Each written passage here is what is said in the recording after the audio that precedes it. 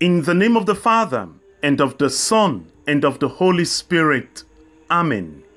Greetings, good people of God, and welcome to today's edition of Catholic Meditation. Today is Saturday, the 7th of August 2021. I am your priest and servant, Reverend Father Blessed Ambang Njume. The church celebrates the feast day of Saint Sixtus II, Pope, and his companions, martyrs. It is also the feast day of Saint Cajetan, priest. Good morning and thanks for joining us.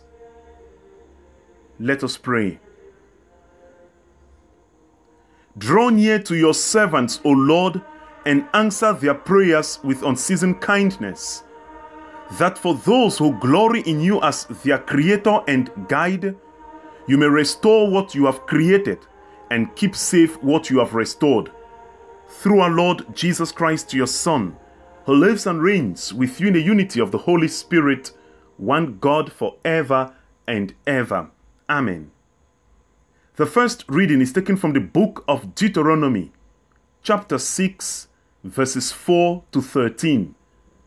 The responsorial psalm is taken from Psalm 18. The response to the psalm is, I love you, Lord, my strength. The gospel is taken from St. Matthew, chapter 17, verses 14 to 20. I read from the gospel. At that time, a man came up to Jesus and kneeling before him said, Lord, have mercy on my son, for he is an epileptic and he suffers terribly. For often he falls into the fire and often into the water. And I brought him to your disciples, and they could not heal him. And Jesus answered, O faithless and perverse generation, how long am I to be with you?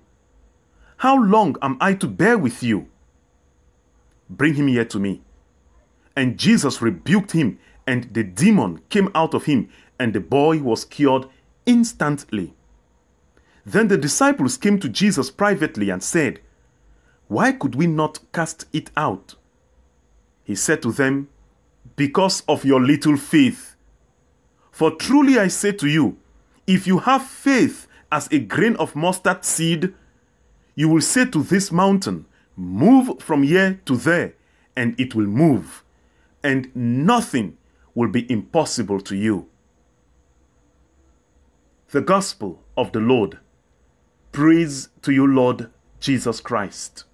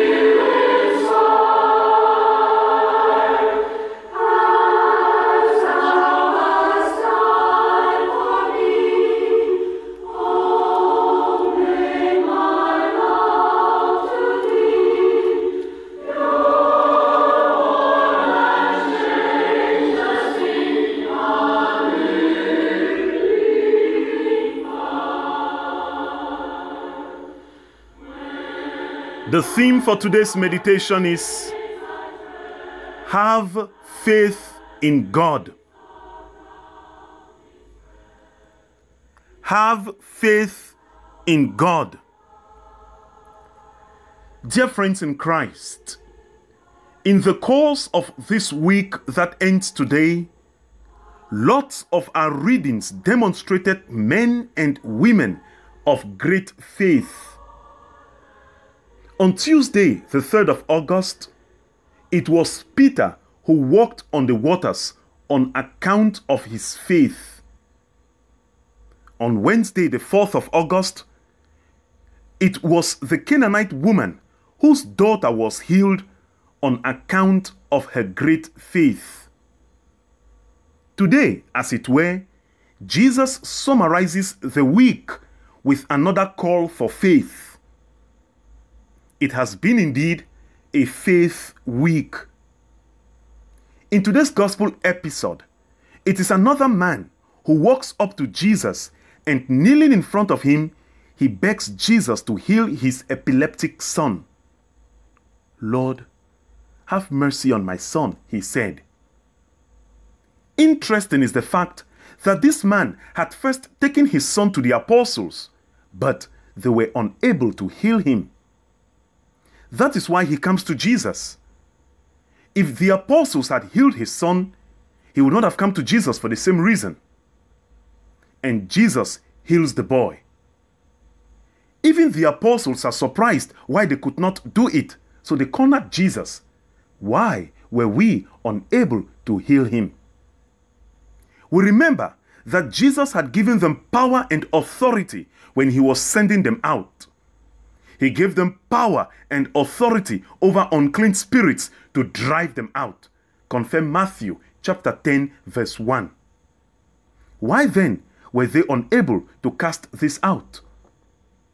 Jesus tells them it is because of their little faith.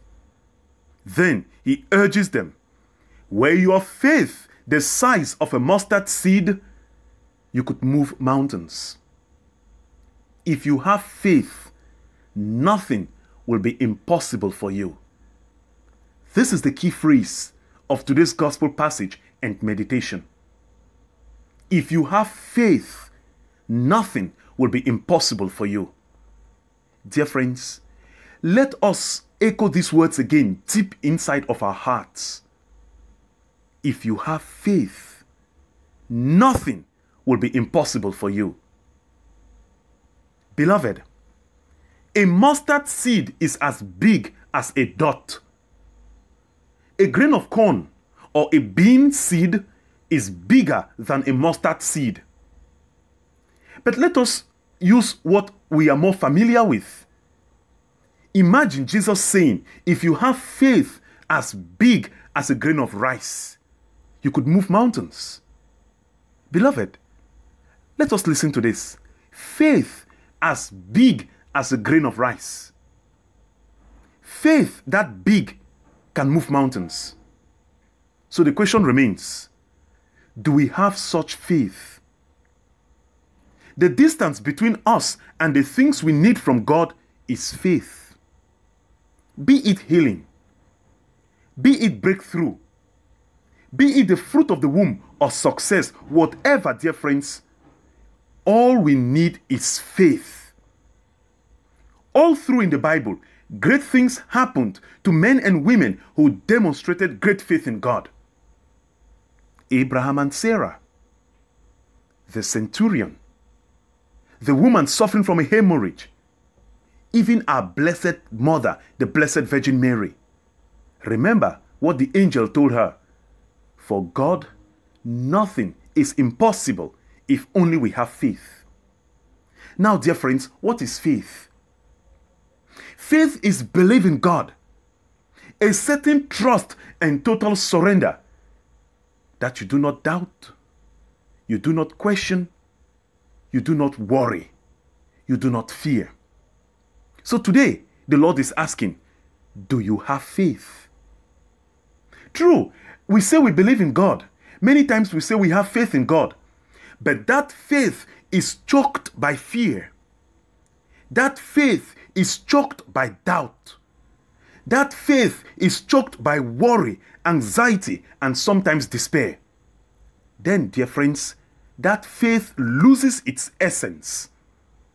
When faith is clouded, even by as much as a dot of doubt or fear, it loses to become faith. It is something else. Faith is total trust. Faith is total surrender to God. Faith is belief and trust without doubt. So ask yourself again do you have faith? And faith is tested when we go through difficulties.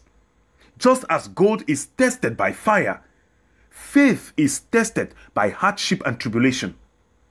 It is easy to say, I believe in God when the going gets going. But when the going gets tough, that is when faith is put to the test. Again, Jesus is asking, Do we have faith? He's not asking for much faith. He's asking for little faith, just faith big enough as a grain of rice. Do you have that faith? Dear friends, if Jesus challenges us this much, that we need faith just as big as a grain of rice, it is because he knows in truth we do not have faith. It is easier said than done. Again, do you have faith? We too have not been able to achieve much or do much because of our lack of faith. Have faith in God, beloved, and nothing will be impossible for you. Nothing. That means faith in God can make you do all things. Faith moves mountains, meaning faith moves any obstacle on your way. Have faith, beloved. Have faith, and you will see great things happen.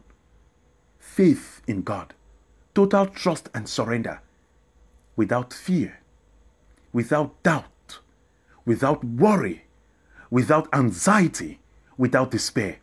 Let us pray for that grace that God will give us the gift of faith and that we will be men and women of faith. Pope St. Sixtus and his companions, whose feast we celebrate today, will remember the most shocking and glorious page of the history of the Roman persecutions on the 6th of August in the year 258, while Pope Sixtus II was celebrating the Eucharist in the catacombs of St. Callistus, the Roman soldiers, under the orders of Emperor Valerian, seized him along with four deacons and decapitated them before the people. Pope Sixtus II is also remembered because of his efforts in reconciling the churches of Northern Africa and Rome. On his part, Saint Cajetan was born at Vicenza in Italy in the year 1480. He became a priest and spent all his time in prayer and caring for the poor. In an attempt to live like the apostles of old, he founded the Theatines, a religious institute of priests totally dedicated to evangelical living, preaching, and prayer. He died in the year 1547 through their intercession, may we pray for the gift of faith. Oh, dear Lord, we have faith in you.